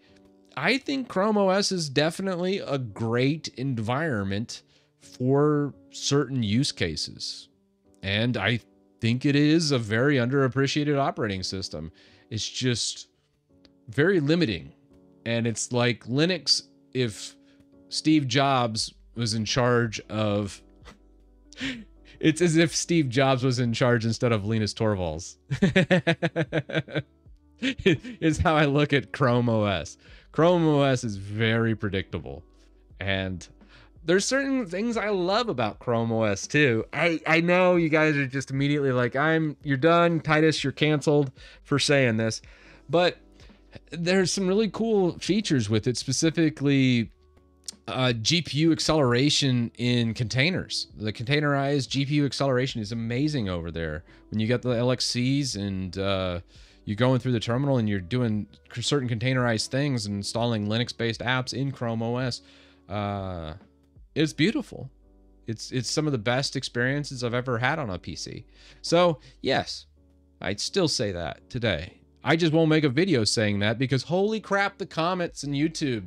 It is not a popular opinion, and every other YouTuber out there bashes Chrome OS because it's a popular thing to do. But damn it, it's a good operating system. I'll die on that hill. Well, I'm not going to die on that hill because I'm not going to tell anybody about it unless they directly ask. So let's move on and change the topic before everyone clicks off this stream. you know? Uh, would you recommend Chrome OS Flex now? Yeah, Chrome OS does not work for crap on a lot of generic hardware. I've I've tested Flex and it's it's an awful awful implementation. That was a big miss. That was a swing and a miss with Flex. Uh, so yeah, uh, just call me a Google fanboy, but at the same time, I will give you the straight up on Flex, and it's not something you ever really want to go down. At that point, learn Linux, install Linux, use Linux. Uh, you you don't. There's no. Mm, there's no world where I'd install and use Chrome OS Flex on anything. That's just uh that's just crazy sauce. Do you know people are working on Nix for Windows? Uh I don't know. It'll be interesting to see. Windows the problem with doing like a big giant uh, Nix install or, or honestly a lot of third-party tools for Windows is Windows can throw some curveballs your way from a design aspect and honestly just managing the Windows utility itself has been interesting to see how fast Windows moves and changes things and really screws up multiple different fun- core functionality. It's a bit wild. So, yeah, I could see people doing that. And there's some commercial products already out there that kind of do that. But that's when you start running into like CrowdStrike type situations where uh, inevitably a lot of these places they can have when they're interacting with Windows at such a base level, it could be very, very bad. Uh, and to give other explanations of that, uh, I remember, I don't know if it, there are many people that do like MSPs that watch me, but uh, Kaseya, I once upon a time, this would have been more than 10 years ago. This would have been, shoot, I'm going to date myself on this one, 2008. So 16 years ago. Holy crap. Uh, but yeah, anyways, yeah, Kaseya is uh, I've used that back in the days when I think they were actually up and coming startup before it was it was actually a decent product back in those days. And then I think somewhere in the neighborhood of about 10 years ago, they were compromised. Um, don't quote me on this one, but I want to say they were compromised and there was a massive security issue with it. And uh, I want to say they had a lot of like remote export exploitation stuff stuff like that happening. Um, I I don't know what the update is on that, and like I said, don't um, heck. Let me look up the news article because that's one other thing. But anytime you get these companies that have like ring zero style access or changing like full configuration of Windows, it can be a bit of a nightmare for them. Uh, that's why, like with my script, it gets in, makes the changes, gets out. Eh, but anything that sits there and runs in the background, that can be a little rough. Um, Kaseya uh, security uh, remote exploitation. When was that? I don't know when that was. I don't know if anybody really cares. I just want to look. It was a ransomware attack. Yeah, that's right. It was a ransomware attack on Kaseya VSA. Uh, back in, oh, this is only three years ago. But yeah. Oh, and then SolarWinds, too also had a mass, massive hack too. I don't know. I don't know. You got to have something on your system to manage them remotely in Windows. But man, that's a it's a tall order. It's a tall order. So I always uh yeah. I always uh I root for anybody that tries it. But it is very difficult. Alacritty on Windows 11 any good? I need to try it a little bit more. Uh I don't know on that. What do you think of Microsoft Azure certifications, Chris? Do you think it's worth it? So I don't know. I so I've I've hired roughly probably 50 or 60 people in my career and I've gone through a different path than most. I don't have very much college at all, uh, but maybe like a year or two of community college, right? College dropout right here. And I went in and worked up to like an entry level position doing like Geek Squad at Best Buy back in 2002. It, it wasn't even called Geek Squad back then. Your black shirts, and then Geek Squad took over, and I was with that them for a couple years as they launched, and then I transitioned to contract work for big business. Uh, it was really nice for Geek Squad because back in those days they did business work, so I got to see a whole bunch of different systems, bunch of uh, businesses. So I got to see a little bit of everything, which is great. So I got to dip my toe in pretty much everything, and I had a good aptitude for it. So I was able to get and expand on from that. And uh, I that's not really a viable career path now, obviously, because like most most technicians, you have to like intern somewhere, and then you only know about that specific environment. Uh, there's probably MSPs and stuff that you can do. I know here there's a couple MSPs that have reached out to me that I could easily go work for if I needed, um, that are really good and they they touch more of the higher end systems. But I don't know on SMBs how that would work, uh, how viable that is in 2024. Anyways, I digress. Uh, so that's where I got kind of cut my teeth in the IT field, and then moving up from there, uh, did a lot more like higher end contract work for businesses, and then getting in house basically being brought in as like an IT manager where I facilitated everything and then finally moving up to like an IT director position at a big company that about a probably a probably about a billion dollars in annual revenue and uh, three or four thousand users. And then I did that for a little bit. And then finally uh, I was like this sucks. I really don't like managing people and I really don't like a lot of these higher end things. And it was just a lot of stress managing like the data center and all the different things that happen on day to day on such a big business. So I took a step back and uh, still still have a day job that I work elsewhere just as a, a, basically an IT manager, but I wouldn't even really call myself that, is even though that's my official title. I really uh, basically just have a really small business now that I kind of take care of on the side, and then YouTube and Twitch and all that other stuff, I, I do mostly main time. I would, I would say most this is my main job. And I've really enjoyed that blend. So that is my experience, which is super unique. And I don't know how qualified I am to recommend certifications based on my history, because to me, certifications are a way to get your foot in the door. And my path was mostly through people networking. So certifications were a way to get your initial job, and then you networked through people uh, for every other job from there on. For me personally, uh, I also was a lead engineer for a satellite company doing telephony work in Linux. Uh, for three years doing that as well because when one of the jobs kind of cut back or scaled back i filled it in with another job so i actually worked two jobs doing uh, that and then i would do just basic it management over here and then over here i would do more of a engineer's role where i'd build out like telephony boxes and then ship those out.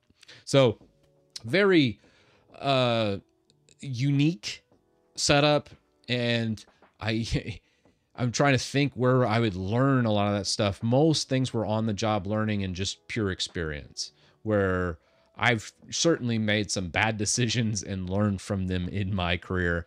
And certifications help me get my foot in the door in places like I get an MCITP in 2008 for enterprise administration. And that helped me. Um, I don't think that really did much for me, actually. I don't even I don't even think that really made a splash in the water because I think of my job trajectory. Maybe maybe when I moved up in 2016, having the, that credential helped, but uh, most of it was all experience based. I just checked a lot of boxes for people because I had such a vast, different knowledge set. So when you ask a question like, "Hey, should I get Azure certs?" I'm like, "Well, it depends on what certs you have and what you're trying to do." I think cloud-based certs are good if you want to try and get your entry-level position managing like AWS servers or that type of thing in an environment. That's fine. But um, from there, don't get obsessed with certs. You know, whenever I, I I've just run into too many people that have the whole alphabet after their name and they're just paper tigers, and that isn't good. Uh, I, and I think you got to go do it. And to do it, really the certs, the only thing they're there for is to get your foot in the door so you can get an entry level job. And then once you get the entry level job, you get the experience. That's uh, that's where all the value is. Like I could ask any of my old bosses, I'm like, hey, what's more important to you? And I could say a whole variety of things: certs, college diploma. There, uh, a lot of higher education really helps for that very first level, but afterwards, like 90% of the job is all, hey, what's your experience? And I know that's really disheartening to hear as a 20 year old. So just know, don't get obsessed with certs. Certs are important. Honestly, higher education is just important, but it's not everything. And at the end of the day, uh, as a 40 year old now, I really could care less if, if I, any of my certs in the past I have super outdated. They don't matter. Uh, so my MCITP or Microsoft Systems Engineer, or I, I have a Citrix. I'm actually qualified to work on Citrix farms. None of that matters. It just they're so old. Uh, the technology's changed. I'd get in there and be like, oh crap, yeah, uh, yeah. I remember back in my day. Let me tell you some stories about the web interface in Citrix. Uh, guess what? Doesn't even exist now. It's all like NetScaler and all this other new fancy crap I hate. And uh, yeah, that was a weird rant, but I, I don't know. Hopefully that helps you.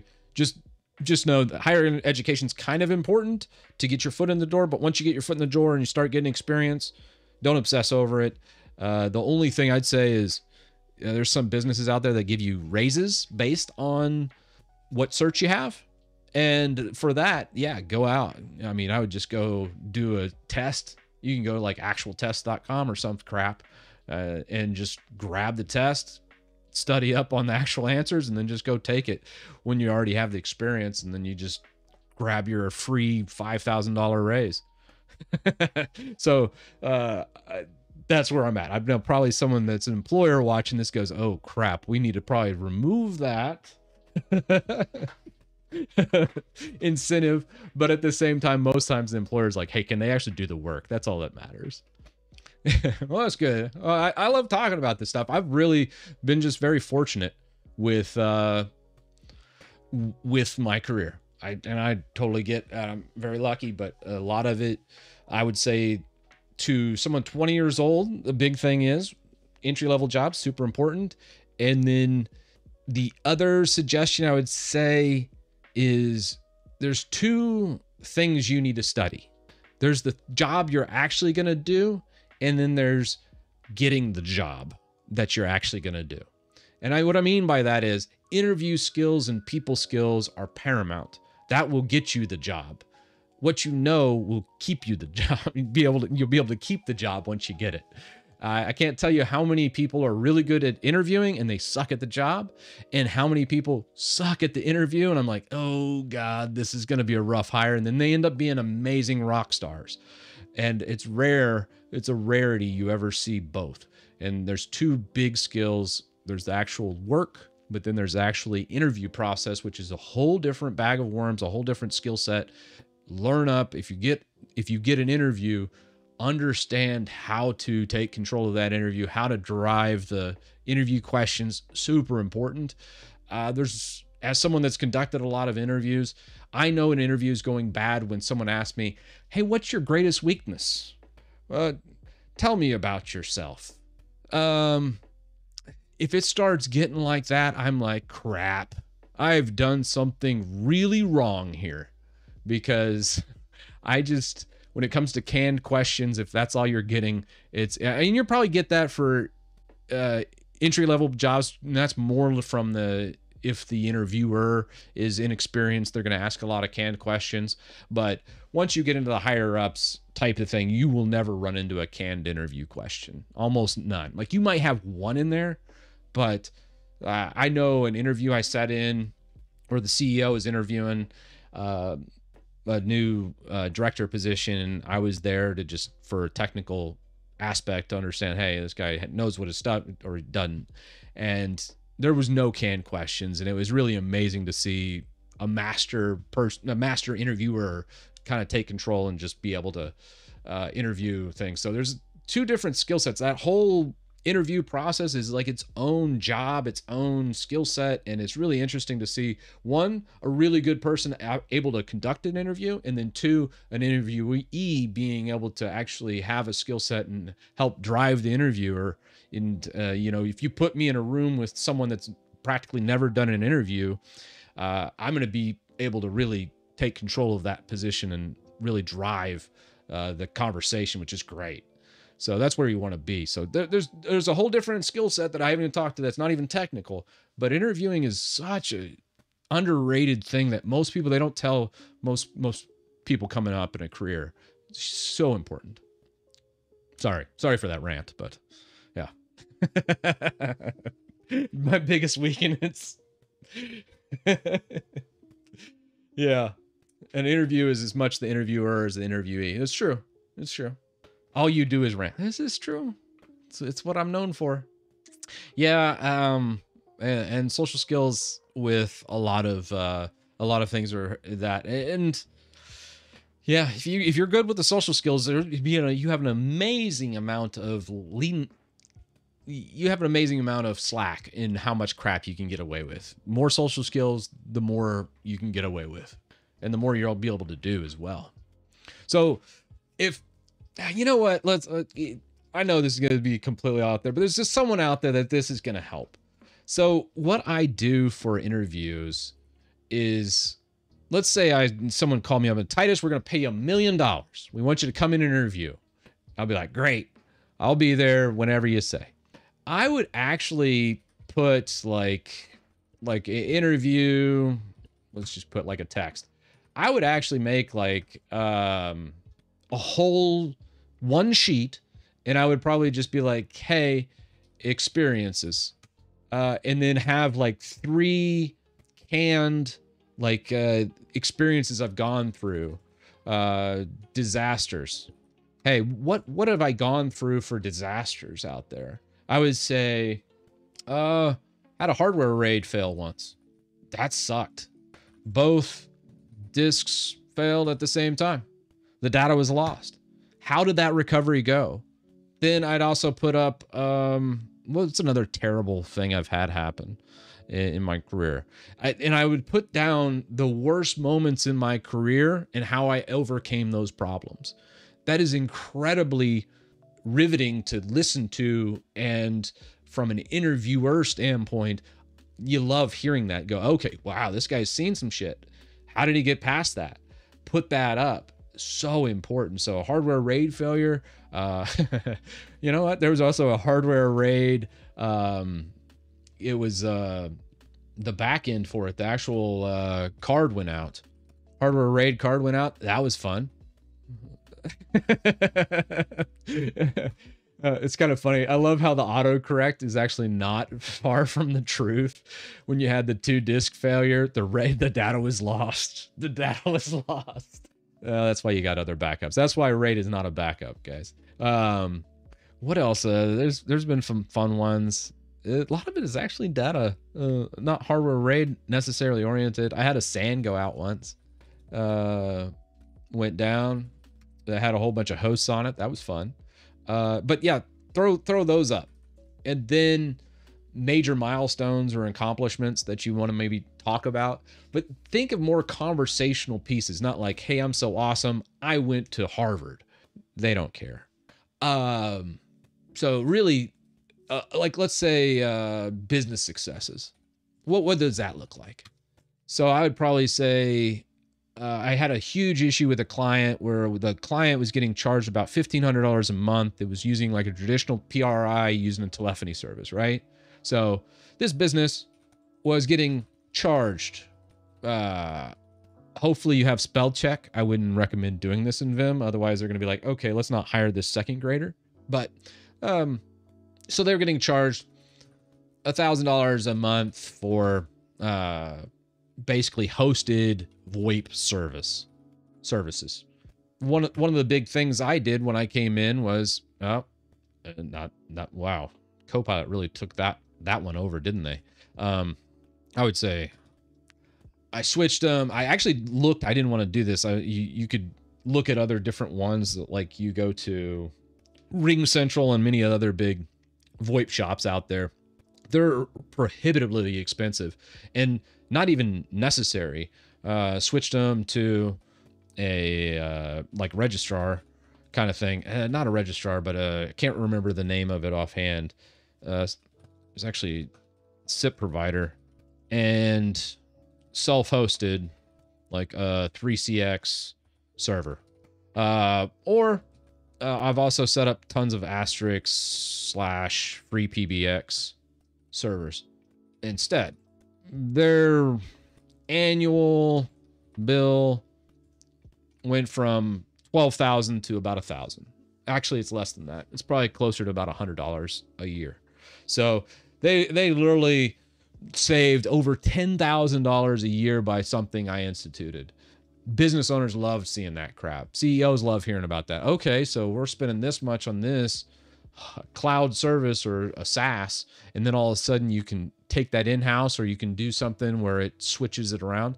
That's a huge win. That's a big success for a business. It's not so much your accomplishments, it's how you did something that saved the company a lot of money. But on the flip side, it could also be how you made the business a lot of money too. Um, like I've put in different uh, procedures that probably saved a ton of money. Uh, you got different uh another one that a lot of people probably have done in the this is actually nagios back in this day ugh. Uh nagios monitoring system uh was implemented removing the need for SolarWinds. Solar winds sometimes in some businesses could be hundreds of thousands of dollars in some of the bigger businesses tens of thousands of dollars in others. Nagios is a, a technically a FOSS project i think uh, I remember I didn't pay anything for it. I instituted that, uh, but I think there's better solutions than Nagios. Uh, so yeah, you can go kind of crazy here. So like when I still have a day job, I don't think I have a day job because they necessarily need me. I have a day job probably because when you look at all the different systems I've installed over the years, hell, they're probably making money from all the money I've saved them from a monthly fee to some service that I frankly just set up that that issue and then you're good. So that's what I think of whenever interviews happen is set up, hey, these are the worst low low points and how I overcame those low low points in experience, but also experiences in in the high points would be huge successes that saved the money uh the business a lot of money or uh ended up putting some some new thing in where where they ended up making a lot more money too. I know there's like an invoicing system I've created.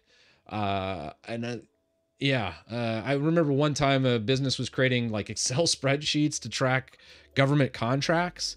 And that was like, why, why are you guys using Excel spreadsheets? You're literally spending hundreds of hours of time per month keeping track of all this crap across all these branches. That's stupid. I'll just write you something and it was it was ugly. It wasn't it wasn't like, oh my god, Titus is a genius programmer. No, it was awful uh, what I programmed, but it was very simple and it got the job done. So they stopped using Excel spreadsheets and it could be written to by multiple people at the same time and being able to read all that. So uh, just a basic database. So yeah. Anywho, sorry. There you go. uh, there, that's so I would make a little cheat sheet, no longer than one page, and just say, "Here's all my experiences." That will your interviewer will love you for that, and it'll also engage the conversation and steer it in a way that you're gonna love it. You're not going to be having to think about your greatest weakness or your opportunities and all these other buzzwords that some canned interviews questions have. Instead, the interviewer is going to look at this and go, Oh, that's cool. Tell me more about that. I want to know how you can do that in this business. Is it applicable to this business? Oh man, so much fun. So much fun. I love it. I honestly love love the interview process. What programming language would you recommend for starting in an already an IT role? Anything with scripting. Scripting's solid. Scripting's so nice. Uh, so when it comes to scripting, you can do so much with scripting. I think of oh god, here's another one. Um, So we were doing a migration from on-prem exchange to O365 in the cloud. And it was a big business, about 2,000 2,000 seats. Uh, and uh, it had already been dragged on by six months by the time I got there. And all this company did, the, they apparently tried to outsource it to this company. I, I, don't, I think we ended up suing them, so I can't really talk about the details of it that much. But they charged like ten thousand dollars, and all they set up was an Azure Active Directory sync. And I was like, guys, I literally could do this in an hour. What what have you done? And they were like, well, that's about it. And I was like, you're kidding. Okay. So I think I was using like Titan, Titan. uh Oh God, what was it? I think it was like a Titan swing migration. Oh geez, I can't even remember the tool. Uh, what was the? now, no, maybe maybe BitTitan, maybe. Yeah, something like BitTitan, probably. So I remember doing that, and what that did is it allowed everybody to kind of sync as like a middleman, and then we swing over to the O365. So everyone kept using on-prem, but this kept on-prem, and then O365 kind of synced before a hard cutover date, and then there was really bad connection between all the branch offices. So what we ended up doing was it, it was it was I was like, oh crap, I can't overload all the network at one time because then everyone's going to start downloading from O365 when we switch the mailboxes. So we needed to take all that existing cache and switch it over to the O365 instance. So I ended up, again, super jank. I'm not a great programmer, but a lot of times you just say, get it done. And I figured life finds a way kind of thing. And I ended up writing a VBS script that ran through a GPO on startup uh, just once that would immediately take everything when I hit go and switch out the OST file and re point it all the way to the new O365 file. And uh, it worked great. And I was like, holy crap, time to go to Vegas because I did not think that would work at all. that was such a uh, it was such a fun like migration. I remember just obsessing over that script, and then when it fired off finally, and all of them switched over, and just a single hour, it got done, and I was like, oh my god, I thought this was gonna take weeks, and uh, it worked perfect. That was probably one of the biggest successes I've ever had, where things didn't go wrong. Uh, which more often than not, things end up going wrong with a big migration like that. Yeah. Anywho, sorry. Yeah. I, you know, so here's what I'm gonna do. I'm gonna switch over and do Chrome. Probably. Everybody gives me crap on my furry browser. So I'm gonna make them even more. I'm gonna make their heads explode. What's Google Chrome at now? Good lord, how many Google Chromes are there? Yeah, we'll just do Google Chrome. There you go.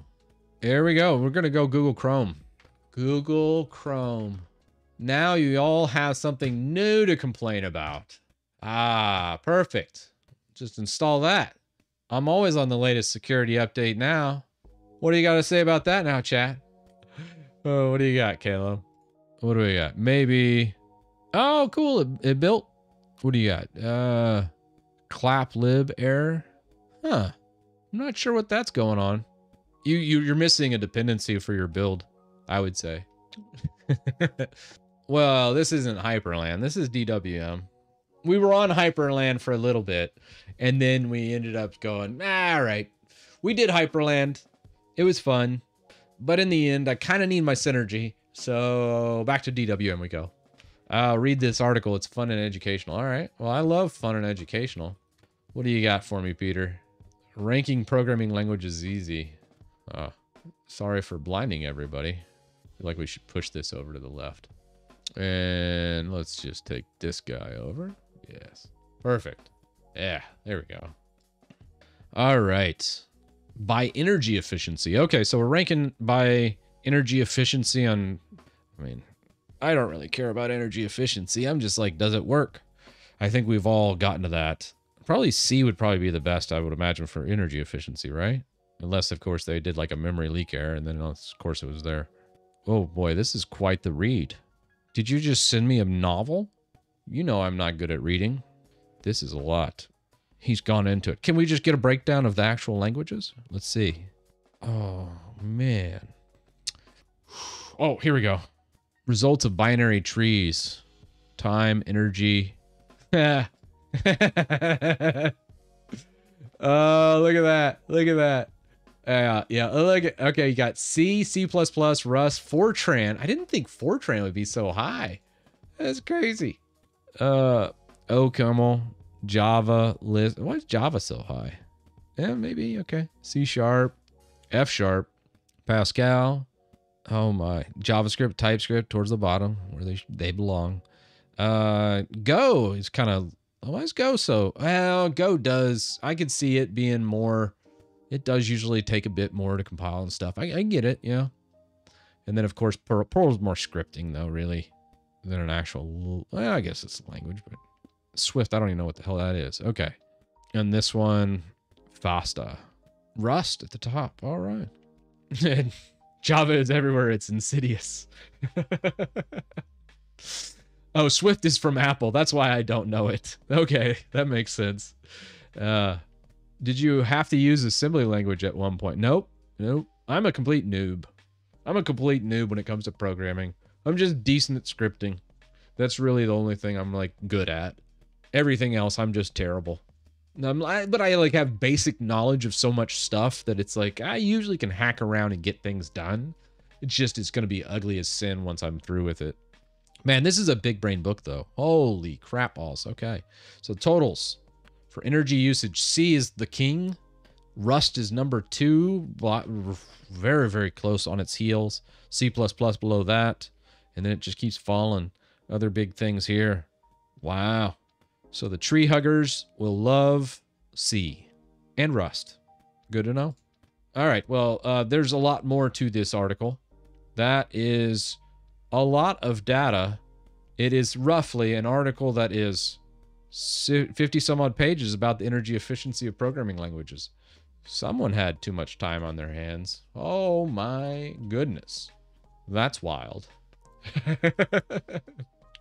yeah. C wins again. Even with the tree huggers. Uh it's what academics do. That's true. That's true. I'm not an academic. I barely passed school. I'm a failure.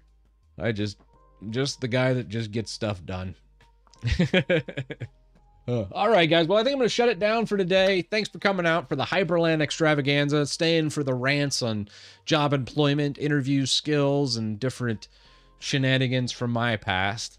And uh, yeah, next stream will be soon. Uh, if I don't get it one out this weekend, I'm going to try and do it again on Monday and uh, hopefully start Monday, Tuesday, Thursday now is going to be my new schedule. So we're going to add Monday in because I know I can always get a stream out on Monday. So we're going to just do three a week now. Uh, and then if I can get a fourth win in the weekend, great. If I can't, then that's uh, so be it. But thank you all. Have a great one. See y'all later.